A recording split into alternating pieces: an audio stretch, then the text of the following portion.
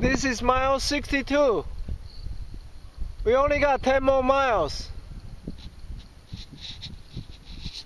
Yeah, buddy.